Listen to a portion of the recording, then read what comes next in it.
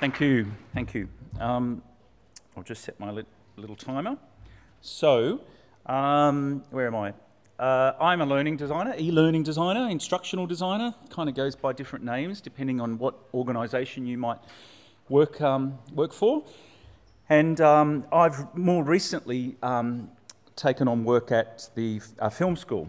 Um, so I'll give you a little bit of background as to that film school. If you were here yesterday and saw my presentation, this is an identical slide. Um, so the AFT, AFTRS is um, founded in the mid 70s. Um, and they've used Moodle since 2013. They have different types of courses. Award courses are uh, bachelor and master's courses, and they go for several years. However, I'm in the short courses area, which is anything from a one day course to a, a 12 week course or a five day course. Um, there's a very heavy emphasis on industry professionals teaching the courses and a heavy emphasis on face to face as well. So that all has to be incorporated into the learning design. Now, this concept of subject matter experts. So some people don't use that term, subject matter expert or SME. Um, and so basically, I have worked for lots of different organisations over the years from the early 90s. And so some of my SMEs have been hairdressers or bricklayers, surgeons, um, doctors, academics at universities. And so currently, my SMEs are filmmakers. So it might be someone that is a production manager of a reality TV show, for example or a, um, a producer, a film producer, or an accountant um, on a um, film project. So I don't know much about the intricacies of um, producing a film, and so that's where me as the learning designer sitting off to the side there, and the SME inevitably has their big pile of content. So they know things. I know things. So um, basically, I like to put the SME right in the middle and so and work around them with all the different emotions and tasks that go with that. And then the learning designer, which is me, I know how to organise content and design learning experiences. I'm sure most people in this room um, can, that might resonate with. So, um, generally, we have a project, and within that project, there is parameters like time, uh, what LMS you are using. So currently we're using Moodle. Um, a schedule, again, this big pile of content. You generally have a, a, a, user guide or a course outline, rather, unit guide, that type of thing. And then generally, there's other people involved, but generally, the, at the core of the team is the SME and the learning designer. And Yesterday on Twitter, I saw Colin had mentioned something about the, the benefits of co designing. So you could conceive that the tasks completed by the learning designer and an SME, they're working as co designers essentially. So, number one, there's 10 top tips. So, number one, I find that um, before starting anything, I like to just establish trust. And so I just meet for a coffee. Uh, that's just to establish a mutual respect, uh, confidence in, in each other, um, confident that you'll guide them on, with online learning. Often, an SME doesn't have a lot of experience with online learning. Some of them don't have any experience with learning at all, no teaching background, um, depending on the circumstances. And so, it's always important just to lay out um, some, some kind of guiding principles in that area. Um, I like to ask them, well, have you taught before? Or, you know, um, do you have any teaching experience? Um, there's other things like working, working styles and personalities, um, different approaches to project tasks. Um, and so the whole point of this first tip is to establish who you are, how you're going to work together. Um, what strengths do you have? So, number two, I like to look at schedules and budgets. So they're not inherently interesting, but it provides a, almost like a mechanical framework to work within. So if you don't, if you only have one month to complete the work, you're going to approach it in a slightly different way to if you have one year. And so if you've got $100,000 versus $10,000, how are you going to spend that money? Sometimes these decisions are not made by the learning designer or the SME, they're made by the project manager. Or, you know, it gets complicated, as you can um, probably predict. Um, a lot of these are re about restrictions, but within restrictions, it's like with any good design process. If you're given a restriction or a parameter, sometimes that helps the design process flourish um, as people look for opportunities. Um, I think I've covered all of those except for the last one, or the last couple maybe. Milestones and deliverables. What are they? What are we doing? How do we know we've achieved the end of the project or this milestone? Make, make these sort of things tangible because if you have things that are tangible, then I just find that it just sets a really nice, sensible tone. Um, here's that woman again. So most of the women will know who this woman is. I don't know if a lot of the men would know who this woman is. However, she likes to tidy up. And so she has this phrase, does it spark joy? So she generally helps people to declutter. So what I find, and this is, again, I've kind of been engaging with SMEs since the, the mid 90s. And so um, they generally have a big load of um, content, and that content is often confused with, oh, that's all there is to the teaching process, because content is king. You've probably heard that phrase before.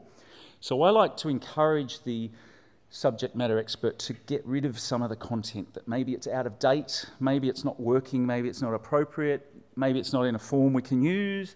So just either bin it or let's put it in our in tray for the project. Um, sometimes that's kind of, I have a flippant tone as I'm talking, but it's kind of, um, I guess, yeah, it's a, it's a good, decent conversation to bring up. And sometimes it can be confronting um, because, you know, I'm a lowly learning designer. I don't know anything about um, beef cattle or cutting hair or operating on a person in a hospital.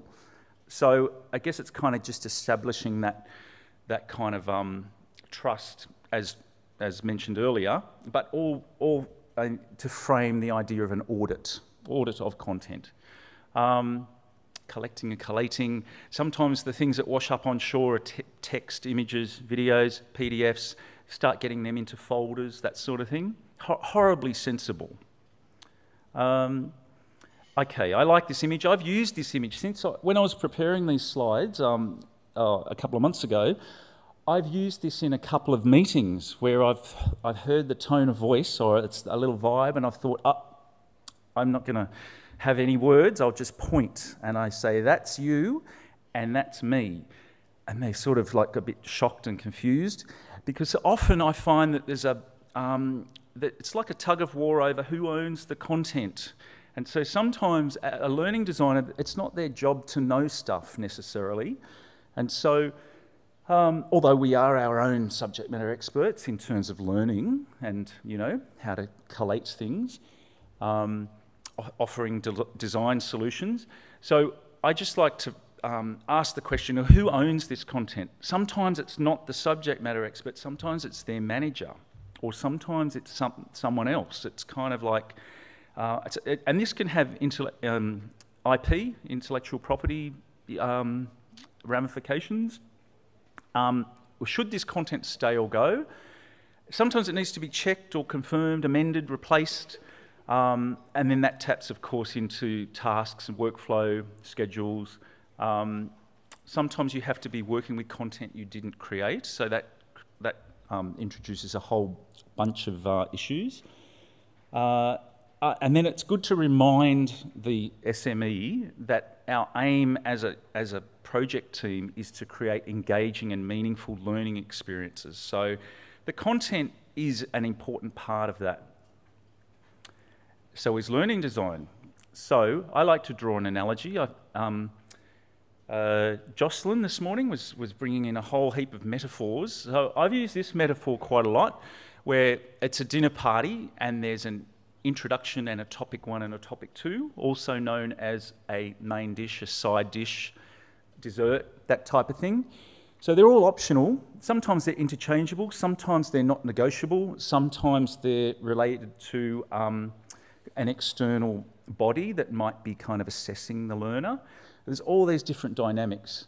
Um, there's also this concept of hierarchy as well. So I like to just talk through the Moodle interface together and say, look, if we put your content here, this is what it would look like. There was a, a question from yesterday about these um, troublesome high school teachers. I used to be a high school teacher, so I can relate to some of the issues that were brought up about, well, if we've got a section in Moodle, we want a subsection, and we want a sub-subsection, and we want that to be final, final text, and it's like, well, some of these problems are solved in a non-technical way, if I can say it that way. Um, and then I guess it's kind of reminding the SME that there's this thing called learning design and uh, linking how their content might be structured in a way. So that can be really delightfully fun and, and productive at the same time because you, are negotiating, you're co-designing essentially. Um, now I like this one, negotiating new content, because sometimes you're, you're going along really well and everyone's confident and comfortable, and um, all of a sudden there's gaps in the content, as symbolised by letter C and letter F, and that sometimes the subject matter expert starts to lose it because they're linked somehow to their content, and if there's gaps in the content, then that diminishes their value or something. I don't know. It's very mysterious, but that's me on the right. And I have used um, Latin text in the background for those with a sharp eye. So that's a form of dummy text. It's like, let's just keep calm and put a placeholder in and get on with the whole picture. And I, I was uh, liaising with someone the other day, and I pointed to the, the picture of the guy with the, the um, what is question mark over his head. But she wasn't in that place. And so it's kind of, you know, I'm, I'm overgeneralizing because um, it's kind of, everyone's a person, but um, and they've got individual ways of dealing with things. Um, but yeah, I guess it's this concept of gaps in content and how do you deal with that and who's going to develop it? Maybe how much is that going to cost? That type of thing. Uh, I like to negotiate communication and workflow. Now, the person in this image is, is in, uh, watching an interpretive dancer and with a checklist. And we've got two minutes, okay?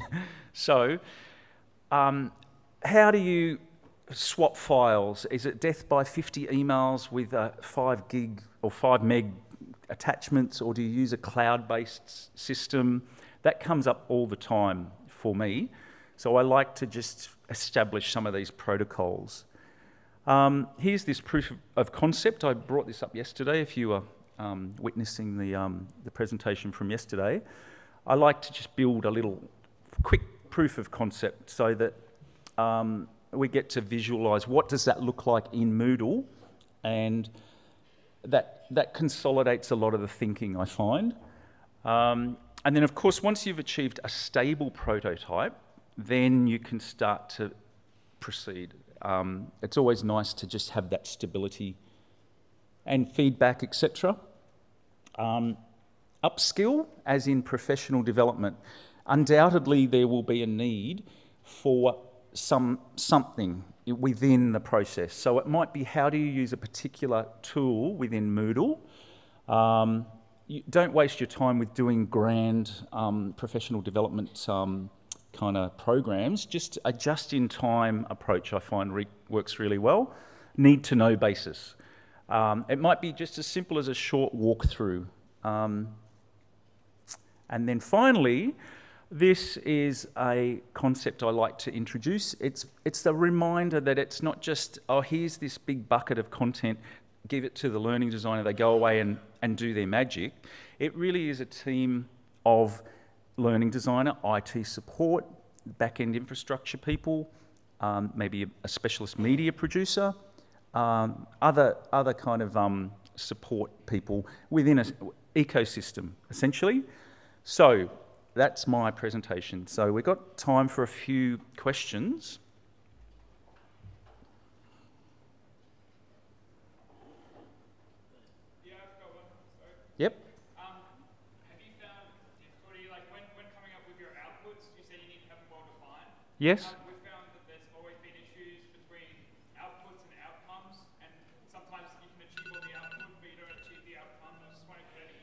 Do you mean learning outcomes? No, as in like um, as part of like delivery outcomes, I guess. Yeah, well, you could say learning outcomes. So like, if the output was to build a lesson, Yep. doesn't achieve the learning outcome. Yep.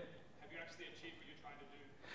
That's a really big question, and I guess it's linked to documentation. So if you have, um, as one of your very early deliverables, uh, some sort of documentation that is kind of like reassuring everyone in the project team, including various layers of management, what are you going to produce in this period of time?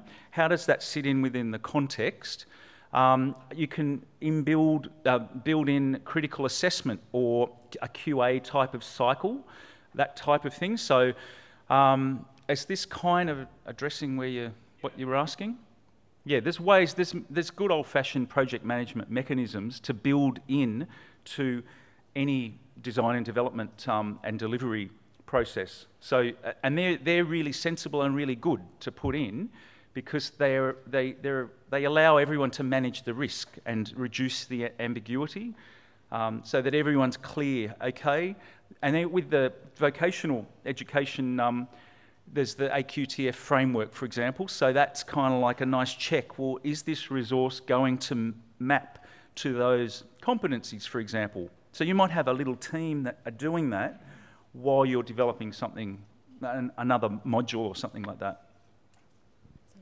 Excellent. If you could please join me in uh, thanking Mark for his presentation. Okay, thank you. Thank you.